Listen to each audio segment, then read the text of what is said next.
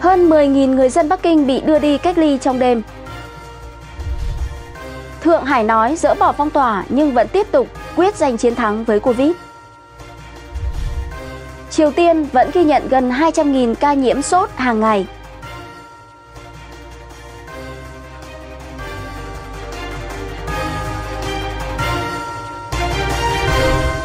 Nguyễn Tươi xin kính chào quý vị. Kính chúc quý vị có một ngày mới sức khỏe và bình an. Và sau đây, kính mời quý vị cùng theo dõi nội dung chi tiết của bản tin sức khỏe cập nhật sáng ngày 23 tháng 5 của DKN TV.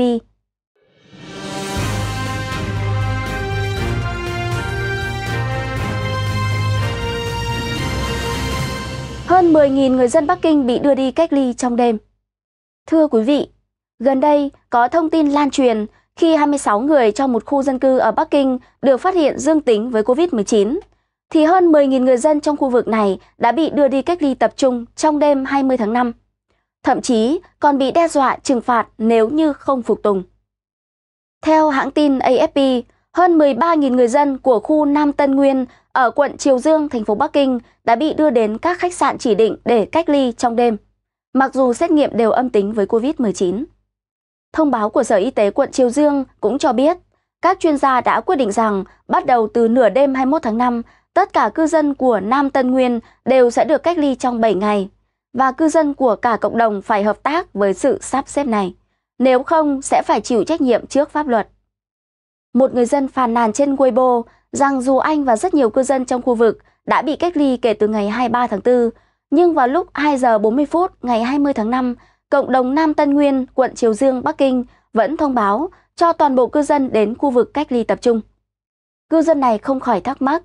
Tất cả các xét nghiệm axit nucleic đều âm tính, trong nhà lại còn có thú cưng. Lẽ nào bạn đăng ký cho con nhà bạn đi cách ly tập trung thì bạn sẽ yên tâm? Còn có rất nhiều nhà xung quanh có người già, có trẻ nhỏ. Sao chính quyền Nam Tân Nguyên lại xử lý mù quáng, không màng đến mọi thứ như thế này? Đây là Bắc Kinh kiểu gì vậy? Ai đến cứu chúng ta. Bắc Kinh mà tôi yêu mến thật khiến tôi xót xa.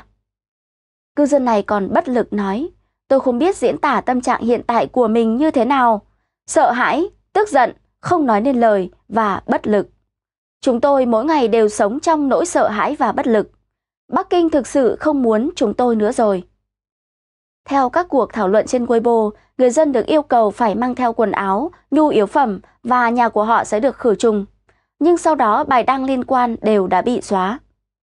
Khi các sự việc liên quan tiếp tục xảy ra, truyền thông Trung Quốc đại lục, tờ Thanh niên Bắc Kinh đưa tin vào ngày 21 tháng 5 rằng quận Triều Dương của Bắc Kinh đã vận chuyển gần 5.000 cư dân của cộng đồng Nam Tân Nguyên, thị trấn Nam Ma Phòng đến điểm cách ly tập trung vào ngày 21 tháng 5, nhưng đã không cung cấp thông tin chi tiết cụ thể. Theo Ủy ban Y tế Quốc gia Trung Quốc thông báo, vào ngày 20 tháng 5 có 181 trường hợp nhiễm COVID-19 mới, và 951 trường hợp nhiễm không có triệu chứng. Trong đó tại Bắc Kinh có 58 trường hợp nhiễm mới và 12 trường hợp nhiễm không có triệu chứng.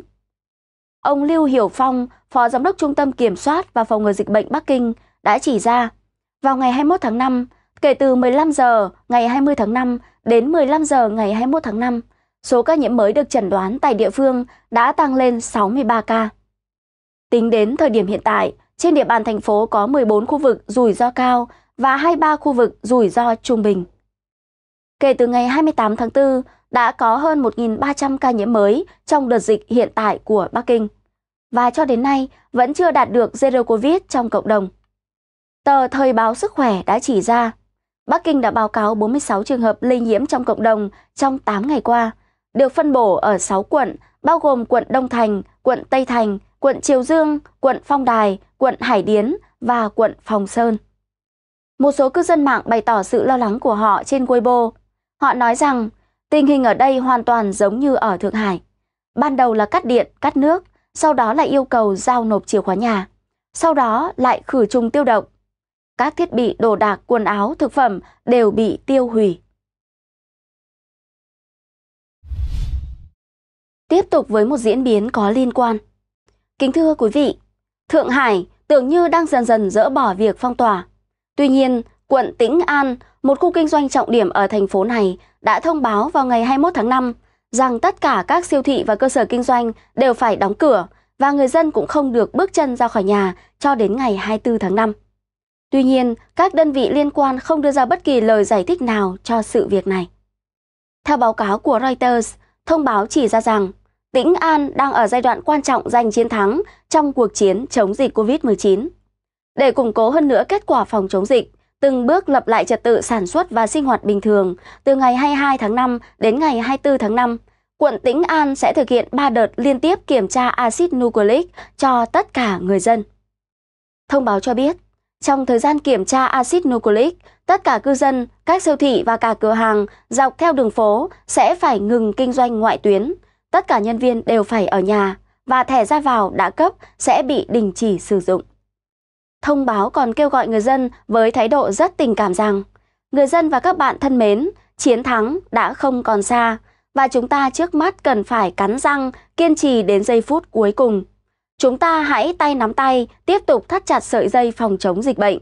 Tiến thêm một bước, tập hợp đồng lòng chống dịch, chung sức giành lấy chiến thắng, khôi phục lại trật tự sinh hoạt và sản xuất bình thường càng sớm càng tốt và kiên quyết giành thắng lợi trong trận chiến bảo vệ Thượng Hải. Hết trích dẫn nguyên văn. Tiếp nối chương trình là một số thông tin liên quan đến tình hình dịch bệnh tại Triều Tiên. Triều Tiên vẫn ghi nhận gần 200.000 ca nhiễm sốt hàng ngày. Thưa quý vị, chính phủ Triều Tiên vào ngày 22 tháng 5 vẫn loan báo hơn 186.000 ca sốt cách nước này gọi bệnh COVID-19 và thêm một trường hợp tử vong trong vòng 24 tiếng đồng hồ. Số ca nhiễm tăng cao hàng ngày cho thấy tình hình dịch bệnh ở Triều Tiên vẫn nghiêm trọng. Theo hãng thông tấn Bắc Triều Tiên KCNA, trong khoảng thời gian 24 giờ đồng hồ, tính đến 6 giờ chiều ngày 21 tháng 5, nước này ghi nhận hơn 186.090 người có triệu chứng sốt và thêm một trường hợp tử vong.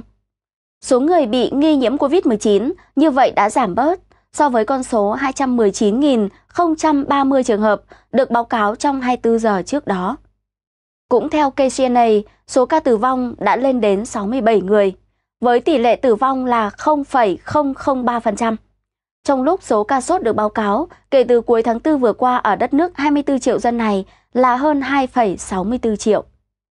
Hãng tin Hàn Quốc Yonhap ghi nhận, tại Bắc Triều Tiên, số ca nhiễm COVID-19 đã đạt đỉnh vào ngày 15 tháng 5 với 392.920 trường hợp và duy trì ở mức dưới 300.000 người kể từ ngày 16 tháng 5. Trong bối cảnh đó, Bình Nhưỡng tiếp tục phô trương những thành tiệu trong cuộc chiến chống lại COVID-19 đang diễn ra.